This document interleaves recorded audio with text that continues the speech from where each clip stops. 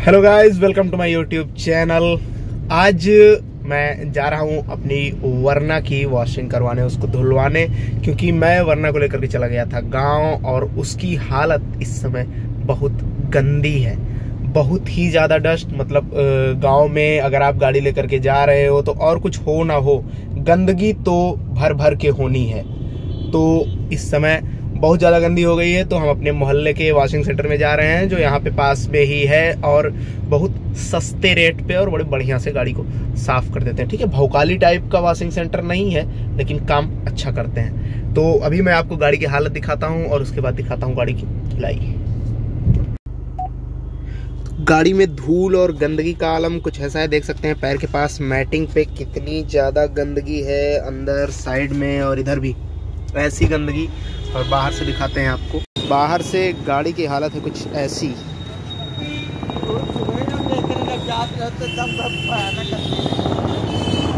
ये हालत है अपनी वरना की। तो सफ़ाई बहुत ज़रूरी हो गई थी और काम शुरू कर दिया इन्होंने। तो अब होगी इसकी वॉशिंग और हम आपको दिखाएँगे कैसे वॉशिंग करते हैं और फिर उसके बाद कैसी दिखती है अपनी वरना।